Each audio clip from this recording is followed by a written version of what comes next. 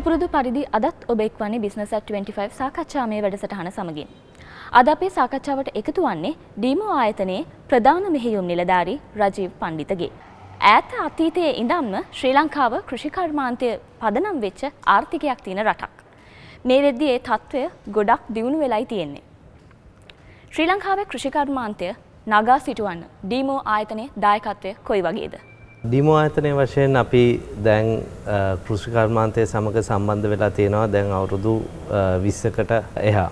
අපි පළමුුව පටන්ගත්තේ මහෙන්ද්‍ර කියන ට්‍රැක්ටර් අංශයෙන්. හැබැයි දැම් මෑතක සිට අවුරුදු හතකට විතර පෙර ඉඳලා අපි අමුද්‍රව්‍ය පෝර සීඩ්ස් එතන ඉඳලා අපනයනය වෙනකම්ම අපි දැන් කෘෂිකර්මාන්තයේ සහභාගි වෙලා ඉන්නවා. අපි කෘෂිකර්මාන්ත අංශය වෙනසක් කරන්න තමයි ඇවිල්ල ඉන්නේ. අපේ මොටෝ එක වෙන්නේ නෙක්ස් ජෙනරේෂන් ඇග්‍රිකල්ච. ඉතින් නෙක්ස් ජෙනරේෂන් ඇග්‍රිකල්ච කියන්නේ සියලුම නවීන තාක්ෂණය පාවිච්චි කරගෙන අපි කොහොමද අපේ ලංකාවේ තියෙන පලදායිතාවය වැඩි කරගෙන වැලි ඇඩඩ් ප්‍රඩක්ස් අපනයනය කරන්නේ කොහොමද කියන තැනට වෙනකං අපි මේ කර්මාන්තය ගෙනියන්න බලාපොරොත්තු වෙන.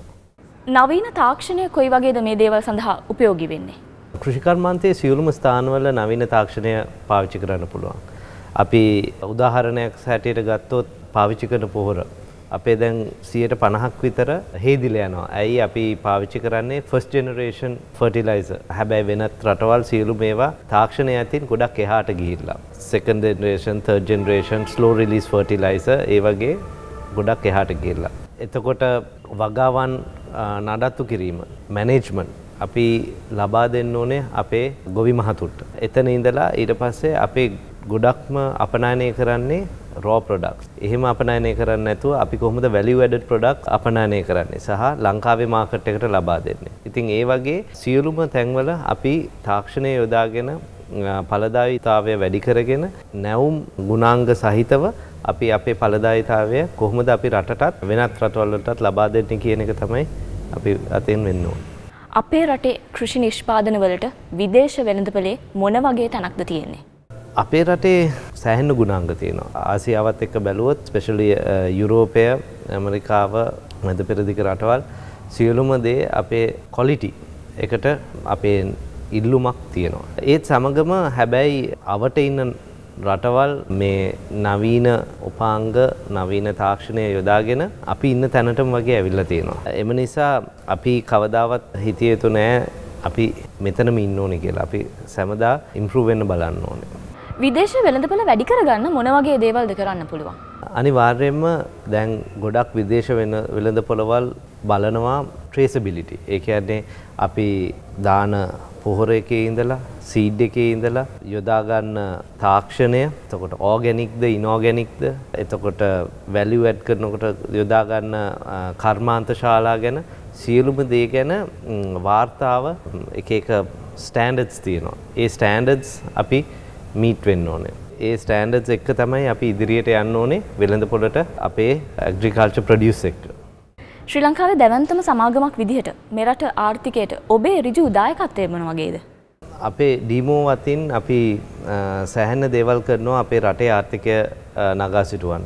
අපි කාඩ එකේ ඉන්නවා දැන්ට මිනිස්සු එක්දස් නමසීයක් ඩිරෙක්ලි එම්පලොයි් ඉන්ඩිරෙක්ලි එම්පලොයි තව පන්සිය කයසියක් විතර ඉන්නවා. අනිතක අපි සස්ටේනබල් ඕගනයිසේෂනයක් ඒ කියන්නේ අපි සෑම අතකින්ම අපේ වැඩ කරන කට්ටියටත් අපේ පාරිභෝගිකයටත් සහ එන්වාරන්මන්ට් එකට සහ සියලුම අපේ අපිත් එක්ක ගැටිලා ඉන්න ජනතාවට කිසිම හානියක් නොවන විදිහට තමයි අපි වැඩ කරන්න බලාපොරොත්තු වෙන්නේ. අපේ කෘෂිකර්මාන්ත අංශය ගත්තොත් අපේ මම ඉස්සෙල්ලා කිව්ව පරිදි next generation agriculture.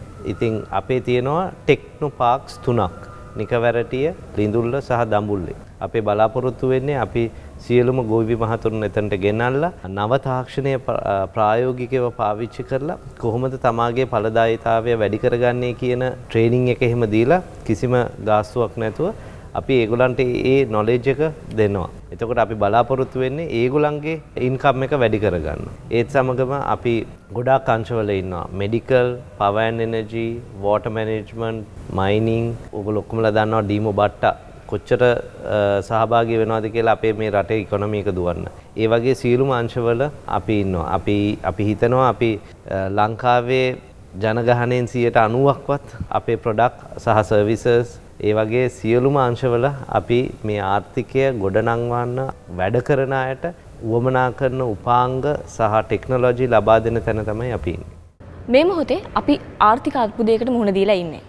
ඒකෙන් ගොඩ එන්න ඔබතුමන් දෙන යෝජනා මොනවාද? කොවිඩ් හින්දා මුළු ලෝකෙම සෑහෙන්න දුෂ්කරවලට මුහුණ පාරණ සිදු වෙලා තියෙනවා. හැබැයි ලංකාව පැත්තෙන් ගත්තොත් අපි හරි වාසනාවන්ත රටක්. මං හිතන විදියට අපිට හරි සැලැස්මක් ඇතුව ගියොත් කෘෂි කර්මාන්තය අංශය tourism banking services financial services ඒ වගේ සර්විස් අංශයෙන් අපිට ලොකු ගමනක් යන්න පුළුවන්. අපේ මිනිසුන්ගෙන් සියයට අනුවක් ලිටරට් එකන කියවන්න කරන්න පුළුවන් මංහිතන්න මේ රීජන එක කාටවත් ඒක තියෙනවා කිය. ඉතින් මංහිතන්නේ අපේ සැලැස්මි තියෙන්න ඕනේ අපි ෆෝකස් කරන ඉන්ඩස්ට්‍රීස් දෙකක් දුනා. මන්දන්න විදියට ඇග්‍රිකල්ච එකක් අනිත් එක සර්විසස් සහ ඇඟලුම් කර්මාන්තය ගත්තොත් අපි ලෝක ඉදිරියෙන් ඉන්නේ. ඒ වගේ අංශ හතරක් පහක් තියෙනවා අපි මං හිතන්නේ ලෝකෙම ඉස්සරහා ඉන්න පුළුවන් අංශ. අපි එතනට සැලැස්මක් අරගෙන අපේ දැන් ඇග්‍රිකල්චර් ගත්තොත් කොහොමද අපේ ඵලදායීතාවය වැඩි කරගන්නේ? කොහොමද අපේ සස්ටේනබිලිටි සහ කාබන් ෆුට්ප්‍රින්ට් එක අඩු කරගෙන ඒ ඇග්‍රිකල්චර් බිස්නස් එකකින් ඉදිරියට යන්නේ. අපි රෝ මටීරියල් විතරක් අපනයනය කරන්න නැතුව වැලි වැඩ ප්‍රොඩක්ස් කොහොමද අපේ ඇග්‍රිකල්චර් පැත්තෙන් අපනයනය කරන්න. මේ රීජන් එකෙන්ම රෝණ දෙයක් ගත්තොත් අඩුම ඵලදායීතාවයක් තියෙන්නේ ලංකාවේ. කොහොමද අපි මේ ඵලදායීතාවය වැඩි කරගන්නේ? ඒ සැලැස්මකට ගියොත් මං හිතන්නේ අපිට ලොකු ගමනක් යන්න පුළුවන්. බොහොමත්ම ස්තුතියි ඔබතුමන්ට අපේ සාකච්ඡාවට එකතු වුණාට. මම ස්තුතියි. හමුවෙමු මෙවැනිම වැඩසටහනකින් ලබන සතියේදීත්.